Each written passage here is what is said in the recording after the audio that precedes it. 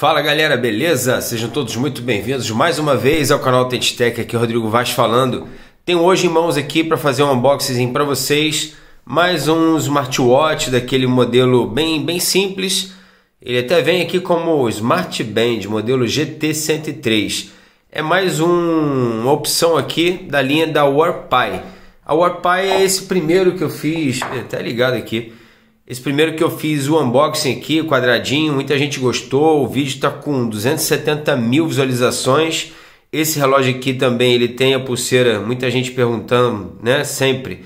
Essa pulseira aqui é a mesma do Apple Watch? Sim, cara, acho que sim. Acho que serve sim. E você encaixa ela aqui e pronto. Tá tranquilo, já encaixadinha, tá? Então é a mesma família. Esse smartwatch também é da Warpy. Aqui na caixinha a gente vai ter um carregador que é igual ao F8, aquele modelo que eu mostrei para vocês ali. Mesmo carregador, nesse estilo clipezinho. Você coloca o relógio aqui com contato nessas duas pontinhas aqui. E aqui na porta USB. O manualzinho dele também aqui é multidiomas. Na verdade ele tem o inglês, uma outra língua que eu não sei qual é aqui e dois chineses, mandarim, não sei o que, que é não. Mas ele vem também explicadinho aqui, tá? Aqui nós temos o relógio e aqui a pulseira dele que vem solta, vem fora do, do relógio, tá? Aqui na caixinha que vem é só isso. Ele tem uma tela nesse padrão 2.5D, ele é bem levinho, pesa só 36 gramas, né? E tem uma bateria de 170 mAh. Certificação IP67, conecta com Android com iOS sem problemas também. Ele já estava ligado aqui, como a gente já viu, né? Eu já coloquei a a pulseira dele, tá? A pulseira é naquele padrãozinho de, de clique. Você puxa aqui o ganchinho e instala ela. Aqui embaixo você tem só o, a conexão para o carregamento e aqui os sensores que vão fazer as aferições do seu corpo aí, tá?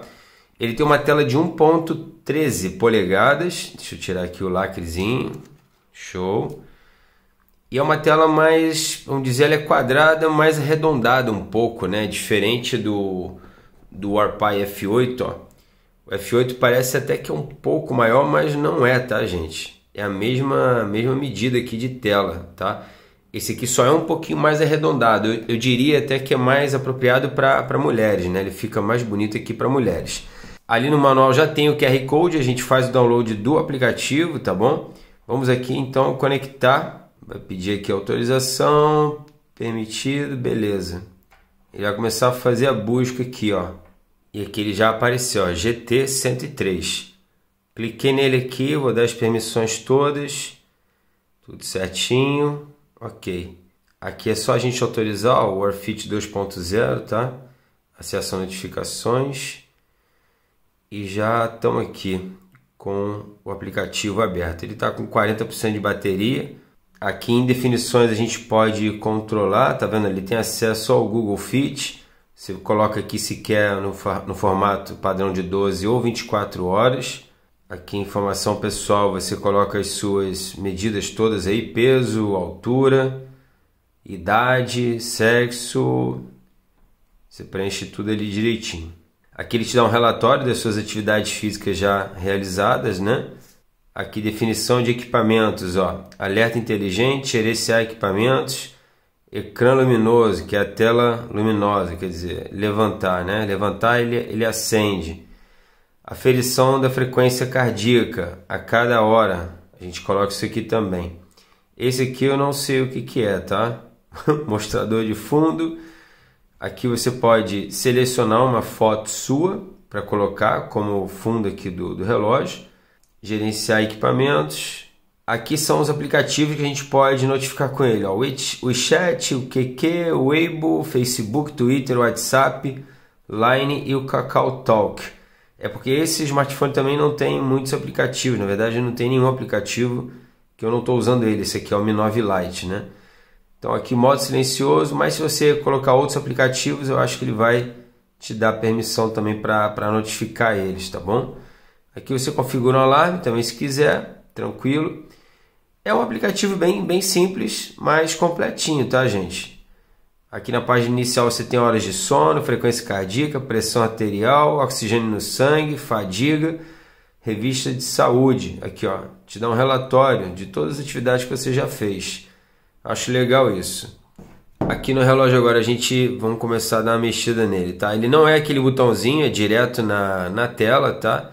Então se a gente jogar para cima aqui, a gente vai mudando a, a face dele, né?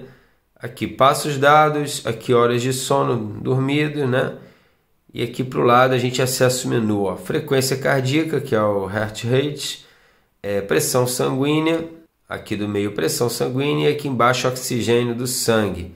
Jogou para cá corrida externa, ciclismo externo, aqui alpinismo. Só que o menu dele é igualzinho ao do Arpai F8, tá vendo? Ele só vai marcar o tempo e as calorias queimadas. Qualquer uma das atividades que a gente acesse aqui, ele só vai me dar isso. Para botar um cronômetro, e calorias queimadas. Aqui mensagens, onde ele vai notificar as mensagens que você for recebendo. Aqui a gente tem um cronômetro, que ele tem também no, no F8. E aqui o brilho de tela, nível 3 e agora máximo. A gente volta aqui, tá? Aqui, Music Controller. Aqui você pode controlar o seu Spotify sim. Se estiver conectado aqui com a sua conta do Spotify, você pode controlar ele, tá bom? Play, pause, avançar e retroceder música. Funciona de fato. Aqui para você buscar o smartphone, procurar o smartphone. E aqui para você desligar o reloginho. Ele tem uma autonomia, gente, de 4, 5 dias notificando você aí, tá? Eu sei porque o F8 minha esposa chegou a usar durante um tempo e era isso que durava. Ela recebia mensagens, notificações do WhatsApp o tempo todo, o Facebook durava uma média de 4, 5 dias, tá? Agora ela trocou para o GTR. Inclusive é o GTR que eu estou usando aqui também, o Amazfit. Esse aqui é o de 47, ela está usando de 42 milímetros. Vou deixar os links todos para vocês aí. Então é uma autonomia boa, 4, 5 dias de bateria, tá? Carregamento em média 2 a 3 horas, você dá uma carga completa nele, sem sem estresse também. Ele tem certificação resistência à água, como eu fiz o teste do F8 ele é um WordPy também. Você consegue molhar ele, tomar um banho, ou jogar uma água, não vai estragar. Mas eu não aconselho, tá? Porque não tem nenhum tipo de garantia né, disso. Então, se você molhar estragar, realmente eu acho que você vai acabar ficando no, no prejuízo, tá? Aqui, se a gente pressionar ele, a gente muda a watch face, tá vendo? Coloca uma que você goste mais aqui. Ele tem essas três opções. Vou colocar essa daqui que é mais completinha. Ele tem um brilho muito bom de tela. Ele é bem bonito, né? Deixa eu botar a letra no pulso aqui para vocês verem. Tá aqui já, o meu pulso, tá vendo? Ele não é tão pequenininho assim como aparenta ser. Aqui, ó, comparado do lado do GTR, ele é menor, claro. Mas não é tão pequeno assim, né? E como eu disse, eu acho que ele é um pouco mais feminino porque ele é mais arredondadinho, mas também fica bem. Mais discreto, né? Tranquilo. Tá aqui a pulseira dele. Essa pulseira achei ela bem fraquinha, tá? Para ser sincero para vocês, achei ela bem fraquinha. Deixa eu tirá-la do pulso aqui. Ela é um silicone, mas meio esquisito, um silicone meio, meio rígido, meio duro, sabe? É, não é tão confortável assim não, mas dá para você usar. Isso aqui, o bom também é que você consegue trocar, né? Facilmente colocar uma outra pulseirinha aí sem maiores complicações. E vamos ver as aferições dele aqui. A gente dá um toquezinho na tela que ele acende. Vamos lá.